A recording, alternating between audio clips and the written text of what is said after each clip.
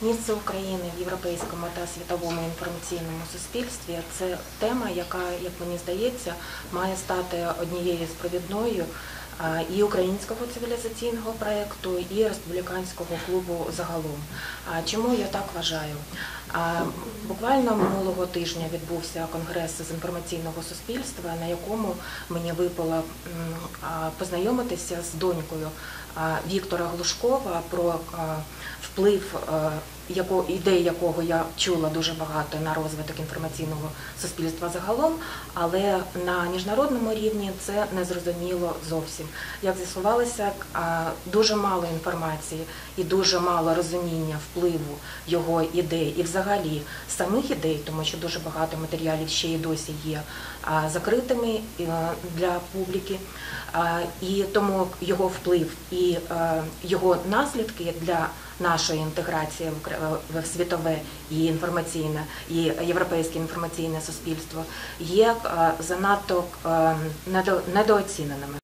Е, І якщо ми не зможемо подолати цей інформаційний, цей цивілізаційний, як мені здається, розрив зараз, то ми будемо завжди відігравати роль наздоганяючих. Особисто зараз, коли в інформаційному суспільстві взагалі е, і е, в управлінні інтернетом, е, зокрема, відбуваються дійсно тектонічні е, суви.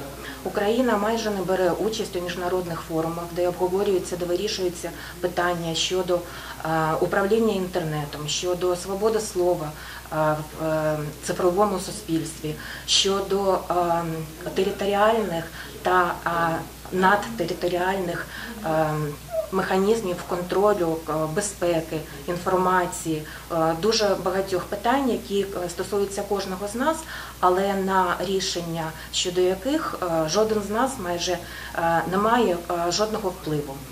Це практика є дуже поширеною серед пострадянських країн, але є вже абсолютно подоланою в дійсно демократичних суспільствах.